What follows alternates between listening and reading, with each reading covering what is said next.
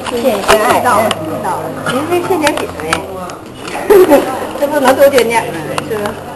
给您拿好。嗯，好。那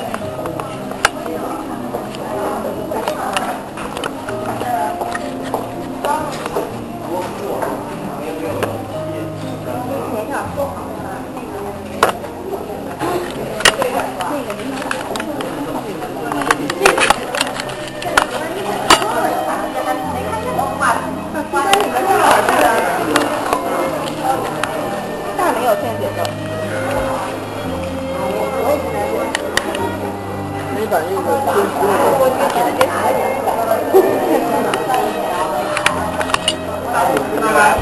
呃，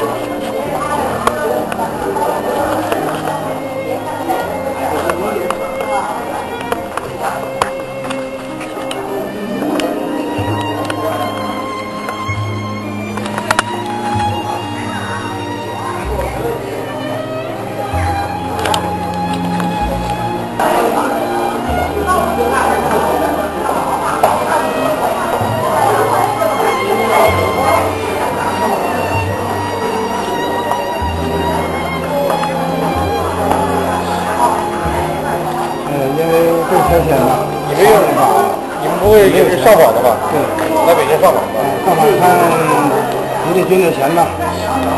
虽然咱们感谢你们的爱心，虽然咱们现在的生活也很很非常的艰难，我们能理解你们这些上访的有东西都抢走了，但是也也是告当地当官的是对，吧？也得献出把献出自己的爱心，对，献一份爱心吧，支持汶川地震，和这家人。这个先交给我可以。对，这个说好，没办法，准备多捐点，咱们吃饭都成问题，是吧？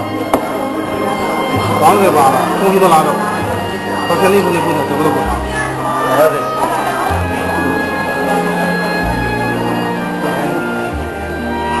问问可以避免？咱们接受，没办法，咱们那个现在献血在哪儿可以写这啥？你们这儿来多久了？来多久了？是吧？刚过来的。挺难的，就是真的老百姓都被这些当官的压的受不了。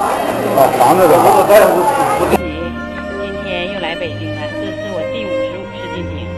为了我们家的那个房子拆迁仪式，被黄沈阳市黄浦区强行拆迁。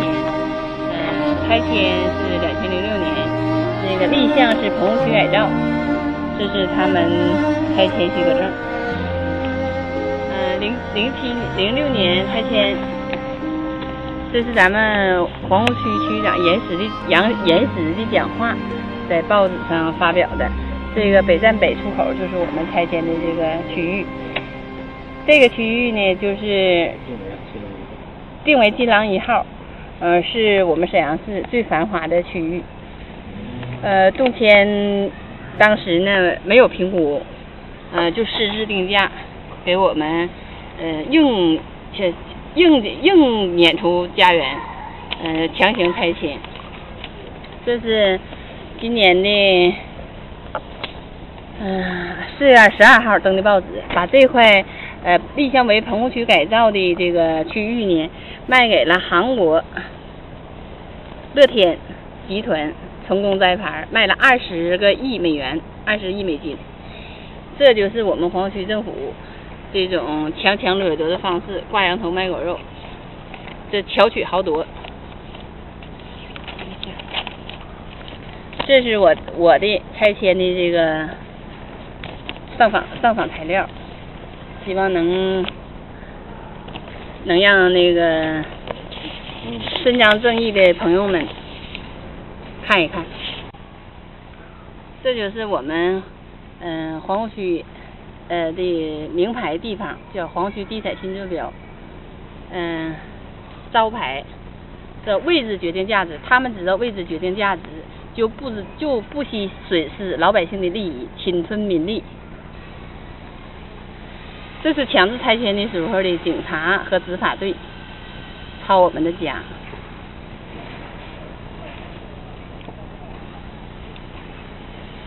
大批的行行政执法人员把老百姓从屋子里拽出去，殴打，强行的往往往往出拽，不管是老弱病残还是呃残疾人、小孩儿，反正都都一样。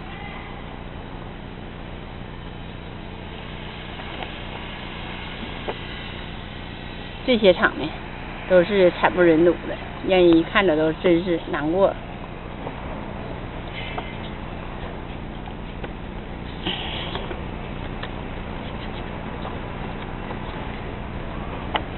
看看我们拆迁办的，把我们家邻居强行拆除之后，他母亲的骨灰盒在屋里头从三楼给撇下去了。这行为让天下的人们来见证一下，这都是强拆房子的，对。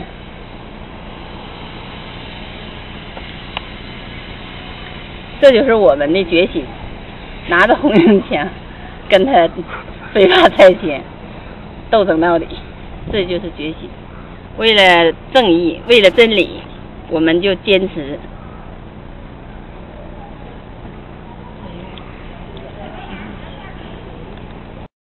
家住辽宁省沈阳市皇姑区白龙江街九杠二号。我的房子，他们以棚户区改造的名义，我这么的好，我这么好的房子，才几年的房子，就以棚户区改造名义给我拆了。我的我的我的孩子才十一个月。就这样，我现在不带着孩子，得得抱孩子，得整坐坐成一个梯子往上爬。他，这就是我我家拆迁的现场。他们动用警察，大批的警察，大批的黑社会、地赖上我家来，哦，造成我现在无家可归，颠沛流离，妻离子散。希望各。呃，非法拆迁，我给他定了八八简单的八句话。第一是无证经营，因为他们拆迁没有合法的手续；第二是投机立项，立项棚户区改造，去把这块地以商以最高的商业利益而出让给韩国乐天集团；再是暗箱操作，没有这个公开、不公开、不公正，嗯，四是强强掠夺我的家，嗯，屋里的财产。包括家电，包括生活物品，一系列东西都被他们用大铲车给我，就是铲平了。到现在，呃，既不赔我赔偿我东西，也不归还我，嗯，用这种不择手段的那个方法侵吞老百姓的利益，无视国法，践踏我们的人权。我们恳请领导来调查核实，按棚户区。改造相关政策，安置回迁，返还掠夺的财物。嗯，感谢。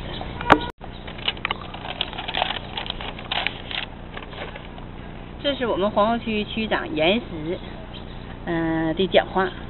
呃，我们北站北的拆迁的这块区域，他也呃在报纸上和香港公开招商。